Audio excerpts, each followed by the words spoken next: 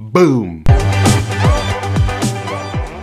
What's up, Money Geeks? Mr. V here. Welcome to another video. So, in this one, we are going to talk about Lucid ticker symbol LCID. So, this is a stock that we've covered here on the channel. From the very beginning, I've given you guys ins and outs, when to buy, when to sell, when the dip is coming, when the spike is going to show up. So, Today I want to give you guys another update and a specific date that you have to settle on your calendar. So we're going to cover that in today's video. But before we get started guys, if you're new to the channel, we talk about how to earn money, how to save money, how to invest and build wealth. So if that's something that interests you, go ahead and hit that subscribe button and the notification bell so you don't miss out on new content. So for those of you guys that are new to the channel, if you haven't already, you can go watch some of the videos that I've already done on Lucid. I covered Lucid um, from the very beginning. So I'll hook that up here so you can go watch that. Um, today's video is just specifically kind of like an update for you guys that are stockholders or shareholders of Lucid. And again, if you want to get into the stock, I might give you some tips in this video so you watch it all the way to the end. So those of you guys have been following the stock, Lucid over this past weekend made a major milestone, which is something that we have been waiting for for years. So finally, Lucid was able to deliver the Lucid Air, the Lucid Dream Air to their first customers. Remember that they have over 10,000 reservations for Lucid Air. So they were able to deliver some this weekend. I don't have the specifics of the numbers yet because they haven't uh, put out those numbers. But as soon as I get those numbers, I'm gonna put them out here so you guys can actually see. So uh, there was an event out in California uh, where they actually handed over keys to the the customers that reserved the Lucid Air. So if you can see here, the CEO talking about it, and this is something that I've talked about here on the channel that Lucid was still um, out there just playing games until you see their cars driving down the street then you know they are in business. And now you can actually say that lucy is in business because you can see their cars driving down the street. But I want to caution you because um, having your cars drive down the street doesn't mean that they are out of the woods yet they still have to fine tune. Uh, drivers are gonna find some some stuff that they don't like. People are gonna complain. They have to fix that because those are some of the growing pains that Tesla went through. So I anticipate that Lucid would have learned some stuff from Tesla, but still they would have to go through their own growing pain. But the good news is the vehicles are out on the street driving. So now comes the important part, and that's why I wanted to do this video. So circle your calendar. This is going to be November uh, 15, 2021. So this is when Lucid is going to do their earnings call. So they're going to do their first earnings report after going public. Again, as a public traded company, now that they're delivering cars, they would have to report numbers.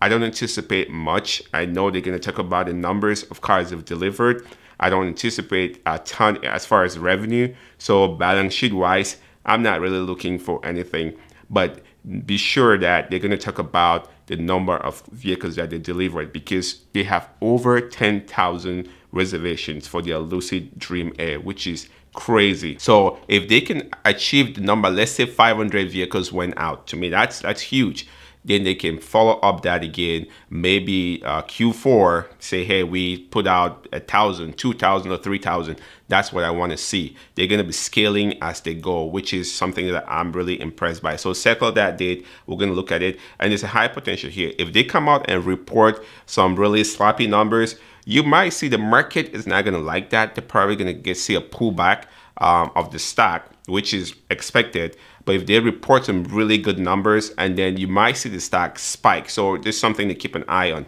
So for those of you guys that are not in the stock, you're probably asking yourself right now, Mr. V, uh, should I buy or when should I get in? Again, for long-term stocks like this one, I'm holding long-term. Always average your way because you don't know the exact timing. There was one time here where I told you guys I was screaming on here that buy the stock when it dropped to about $17 and I screamed my lungs out that buy. Those would have been uh, a good time to get in. But now if you want to long term, I say open the position and slowly buy if it keeps dipping. That's just the way the, the game works dollar cost average your way into the stock. If you if you're not in the stock yet if you're in the stock yet you want to add is the same principle. Dollar cost average your way. So you can dollar cost average up or dollar cost average down. If you look at this stock you're anticipating that this is a $200 $200 um, stock in the future and if you're paying 30 bucks or paying $35 a share that's still pretty much premium in my opinion. So if you can keep it under 30, that's even better. But the, the, way to get started is start a position, even if it's a small one. Get started, and that's how the game is played. So as as of when we were doing this video, if you can take a look here where Lucid is currently trading, um, we can see right here, Lucid is currently sitting at $36.63. Actually got to a high of $41.60, which is crazy. I mean, this thing came down all the way to $19 at one point before spiking up. So if we can look right here, that was somewhere around here. Yep, about $16 at one point. This is just, is just in uh, September. And then look at that spike all the way um, up there. So again, anticipate that after this bull run right here, it's gonna pull back a little bit. So if it can sit somewhere around 30 bucks, that's great. But it wouldn't surprise me if it break that and get back under 30, which would be an excellent entry point for, for somebody that's looking to get in or looking to add to their position. So again, this is a long-term play. This is not something that you just buy now, anticipating that I'm gonna, I want to get rich tomorrow. If you're trying to swing trade it, then I'll say wait for a really good pullback. But if you are looking long-term, start a small position, average your way as the price drops. That's the way to go. That's how you play the game. So again, let me know if you have uh, any questions. So November 15 is the day that you want to cycle on your calendar. Again, like I said, that would be their first earnings report going public or uh, trading as a public company. So they're going to give you numbers on their car deliveries, um, just kind of talk about their balance sheet and then give us some projections uh, for the future. Give us an idea as to how many uh, Dream Air they're going to deliver this year and then how they, they plan on scaling to meet demand next year. So those are some of the key things that I'm going to be looking at uh, during that call. Again, I'll give you guys an update. I'll do a video after that call just to make sure that some of you guys are up to date with what happened and how to prepare for the next steps in Lucy. Let me know again in the comment section if you do have any questions. If you're new here, we talk about how to earn money, how to save money, how to invest and build wealth. So that's something that interests you. Go ahead and hit that subscribe button and the notification bell so you don't miss out on new content. Also, if you're looking to get started with investing, Webull has their promotion where if you sign up and deposit $5, you get free Shiba and you get some free stocks at no cost to you. I'll put the links in the description below.